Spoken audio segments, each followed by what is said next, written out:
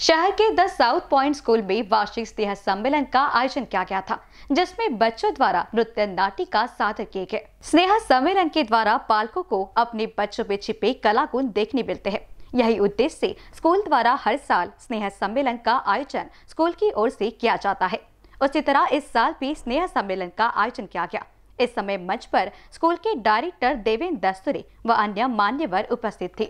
यदि नैतिक आधार नहीं है These are the words which all the time keep me inspired for doing the good work.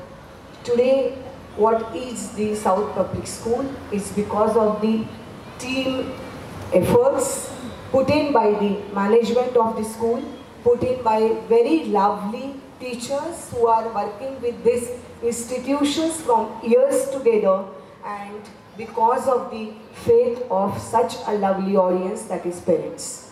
It's my proud privilege to present before you the report of last year. Uh, I am not going to tell you what we are doing in this school on the regular basis because you all are part and parcel of these achievements. I am going to just highlight the uh, achievement of this school and as well as the students and the teachers from June till date.